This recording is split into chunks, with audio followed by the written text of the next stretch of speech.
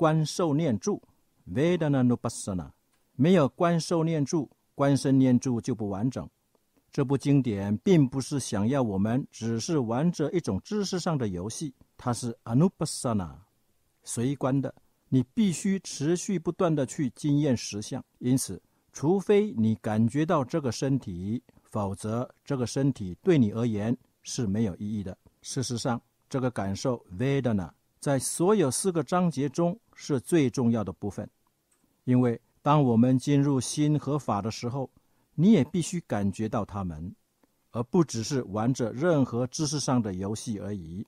在这个传承当中，赋予感受很大的重要性，因为没有感受就没有三不加尼时时彻知无常；没有时时彻知无常，就没有般若智慧；没有智慧，就没有 vipassana 那一关；没有内观，就没有 satipatthana 四念住，也没有最后的解脱。因此。感受对我们而言是绝对必要的。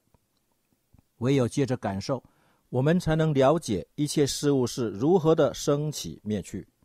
对于生灭无常，也才能有实体的了解。只有在这种感受的层次上，才能够体会到这种生灭生灭的现象。如果你只是去感觉某种感受，而不去体会到不断升起灭去的特性，那么这就不是时时彻知无常，不是智慧，不是内观，也不是四念住。在感受的这个层次上，对于不断升起灭去的了解了知，是绝对必须、绝对重要的。当你不修内观时，你以任何一个所缘，比如说在第一个章节的观呼吸当中，你观察气息的进来，气息的出去，以这个作为你觉知的所缘。作为你专注的所缘，你继续不断的在这个所缘上保持觉知、保持专注，将会得到很好的 samadhi 深入专注的定。这个深入专注的禅定叫做第一个 jhana 初禅，第二个更深的禅定叫二禅，三禅更深一些，四禅又更深。而观呼吸的同时，很有可能你也能够感觉到感受。但是你并没有觉知到不断生灭、生灭的现象。接着从四禅进入第五、第六、第七、第八次地定，然后你进入想象新的想象，仅仅是心而忘记了所有关于身的部分。只有这个心不断的扩展、扩展、无限的扩展，这只是定 （samadhi）。jhana 与内观扯不上关系。佛陀曾经这样子试过。就在他成佛之前，他跟两位老师学习过。第一位是阿罗罗迦兰，从这个老师那边学到了七个次第定，然后到另一位老师优陀迦罗摩子那儿学习了第八次第定。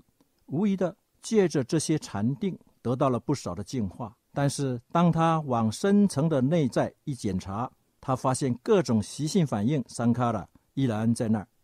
根植在深处的习性反应，佛陀就称它为睡眠烦恼。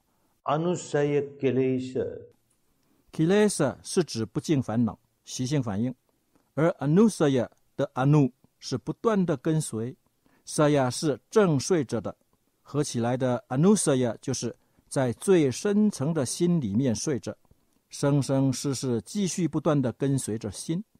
其中一个睡眠烦恼会在死的那一刻浮现而受生，再次新生的开始，而其他的则仍旧继续跟随着。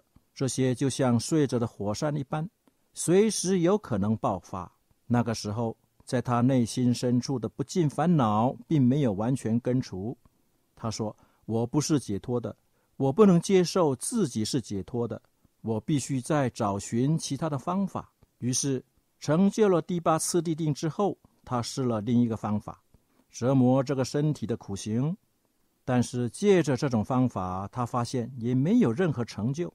他还是持续的观察探究。他发现了 vipassana 内观，观察呼吸，观察感受。由于对感受的观察明了了无常 anicca，不断的升起灭去，升起灭去，他发现了达到解脱关键性的环节。所以他继续不断的在这上面努力。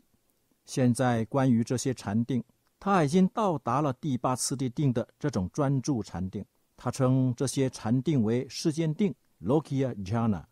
Lokiya 的意思是，这些禅定的结果仍然只是在这世间，从这个生命层次到另一个层次，不断的轮回流转。但是现在他在这些禅定上加上了内观，加上了时时彻知无常。当他加上了对不断升起灭去的体验，这些禅定就转变成出世间定。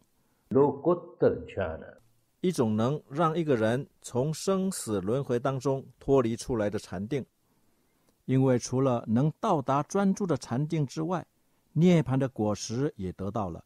所以，原来的世间定，这种还是不停的在各种不同的生命层次里流转的禅定，就变成了出世间定，能从生死轮回当中脱离出来。这是佛陀对人类的贡献。